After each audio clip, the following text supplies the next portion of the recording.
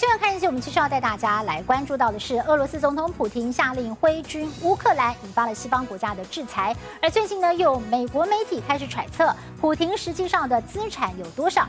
虽然普京账面上的年收入呢，只有大约台币四百万，而且声称他住在一般的公寓，但是呢，专家认为说，他真正的资产可能是高达数千亿美元，和全球首富马斯克不相上下。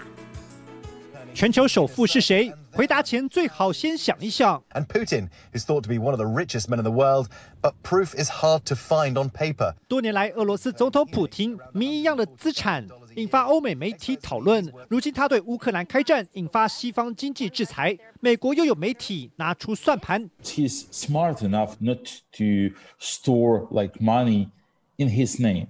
How does it work? Through his friends who pretend to call themselves businessman 真的不夸张，账面上全球首富马斯克净资产高达两千多亿美元，完胜年收入十四万美元，声称过着朴实生活的普廷。但包括美国财新杂志等媒体都细数过，疑似有普廷实际持有的资产，包括造价十四亿美元的黑海别墅，还有五十八架飞机和直升机，以及多只顶级名表，估算实际资产可能和马斯克不相上下。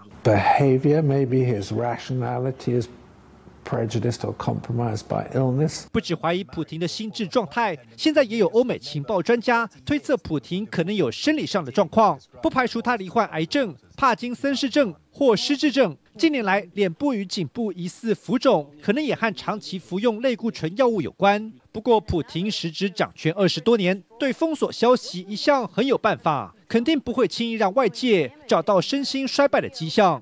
张立的民意。